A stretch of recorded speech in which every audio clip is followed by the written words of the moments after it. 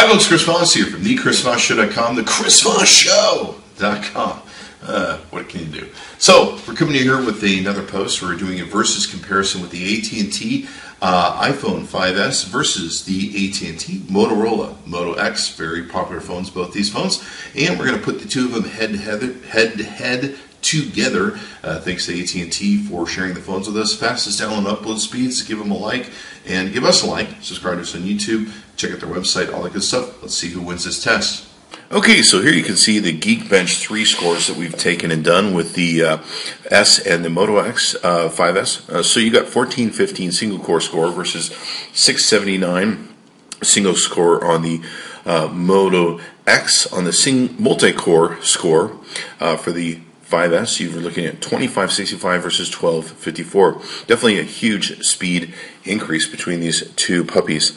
So let's go ahead and page down. You can take a look at these numbers. And the great thing about this app is you can download, follow along at home, see how your phone measures up to these phones and determine maybe which phones might work best for you or might, which phones you might want to take and upgrade to. It's really up to you and what you want to do there and all that good stuff. See if we can get these do. I normally don't worry about these numbers, so we'll just quickly page down through them, and people that are interested in them can pause the video at any given time to compare the numbers and all that good stuff. Okay, so here we have the 3D mark. This is the uh, ultimate test that we're doing, the Ice Storm Ultimate. Uh, 13,291 versus 10,616. You can see here that the iPhone 5s definitely beat out the Moto X. So uh, you can see the graphics store score actually outperformed it by quite a bit. Physics score were about the same, which is kind of interesting. A lot more frames per second on the graphics score one test and two, and uh, physics tests about the same. Very interesting how that turned out. Okay, so here we have the Passmark uh, performance test mobile app test on uh, the iPhone 5S versus the HTC One. You can see here the scores on the 5S came in at 5454 versus 2784. Uh, paging down through the CPU units and stuff, you can see here that the score was 35,380 versus 6180. Uh, on the disk test, you're looking at 23,621 versus 12. 065. Memory uh, is 5339 versus 3281. And 2D is 2492 versus 2826.